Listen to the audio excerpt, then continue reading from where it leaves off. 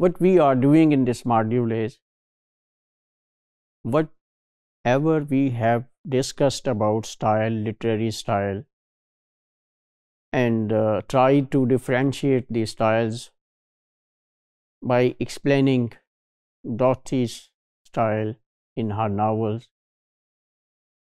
uh, in light of Virginia Woolf's views that uh, female authors uses female sentences and male authors uses male sentences which are free from uh, fragments in other words okay we would conclude these things in this module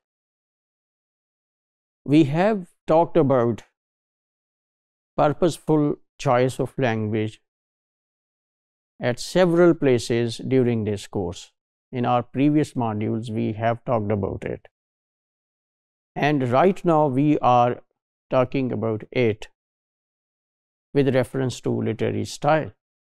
So, in a way, this module is very important to understand the conclusion about difference between literary and non-literary uh, literary style of males and females and overall the idea of style.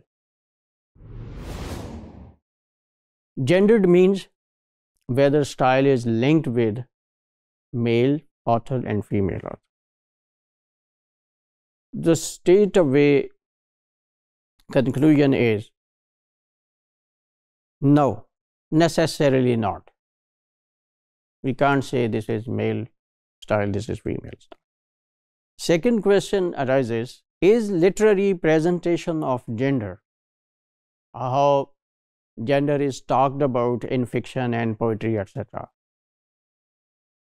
is literary presentation of gender always feminist, always talks about difference, about hierarchy, about patriarchy, about power relations between males and females?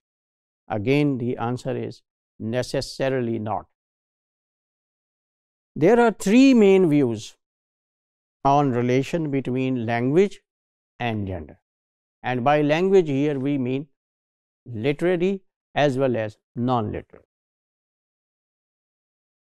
Number one, women's language is deficit, ineffective, powerful. Deficit means it lacks power.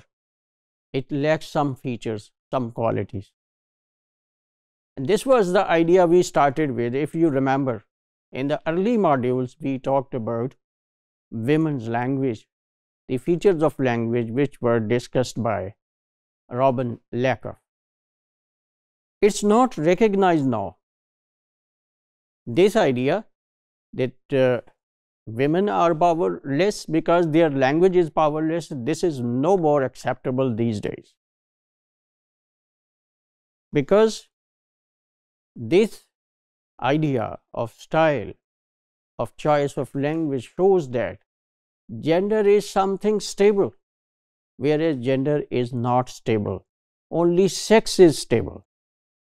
We are male if we are born male we remain male. We are female if we are born female, no change.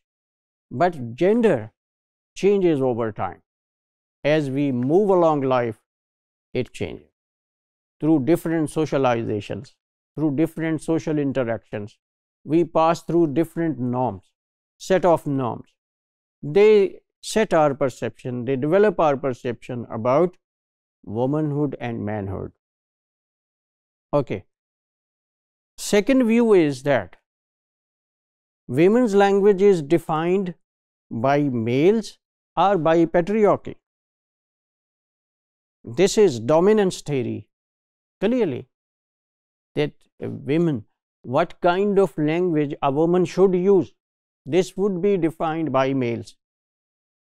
So, here the theory of dominance is working and uh, this is the view that is propagated, that is discussed, that is protested against by feminists. And this is a kind of political movement, the second view. The third view that is directly related with our current discussion, with our current talk is that there is no direct link between language features and gender. So, how can we say that fragmentary sentences are only used by female authors? Why male authors can't do that? Language variation is result of many social factors and gender is just one of them. We vary language according to our profession, according to our roles and relations, according to our class, so many things. And gender is just one of the factor that causes variation in our choice of language. So, how can we make a direct link with gender? Linguistic features have more than one meaning and gender issues are just one of those meanings. So, it is not language, it is the use of language and understanding of language, the meaning of language that is or is not linked with gender. The words in language, the grammar of language don't have any link with language. However, interpretation, understanding, meaning of language that may or may not have link with gender.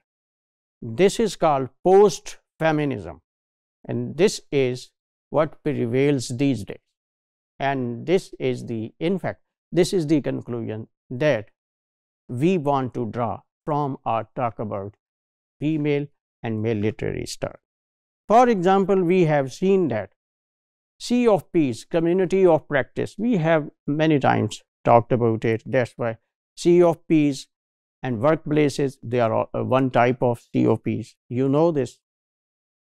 So, we have seen in discussion about CO, uh, COPs and workplaces that they determine our choice of language more than gender norms.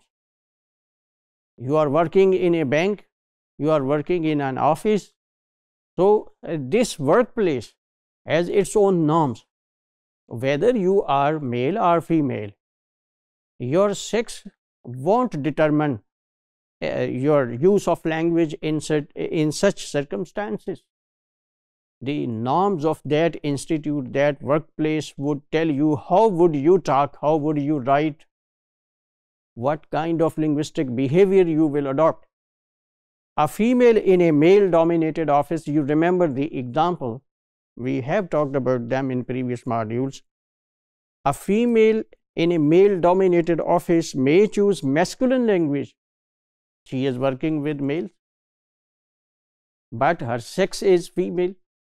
So she would adopt masculine language and men who are working in elder care centers in elder care centers because this job relates with feminine uh, type of people. Feminine means feminine features and feminine features of language are politeness first of all and softness and uh, care for others. We have talked about these things. So, there the males are doing work of female, so they would adopt female language, but their sex is male. So, uh, uh, what I am trying here to tell you is that uh, it is not our sex, it is our role in a workplace that determines what type of language we will choose. This is also practiced by literary writers. Same happens in literature. So, we conclude that female writers may write using masculine language if in common places we can uh, switch over language. So, here too female style can be adopted by males and male style can be opted by females. The choice of literary style is not essentially linked with gender of the writer. It is linked ultimately with the purpose of the writer. What type of text that person is writing that person is writing poetry, novel, drama, number one, because for every type of text we have certain language conventions. So, number one the convention of the text type you are going to write. And number two your purpose. You want to criticize something you want to entertain your reader you want to inform your reader or you want to uh, uh, do you want to write for all these purposes in the same text. So that would determine what kind of style what kind of choice of language you will opt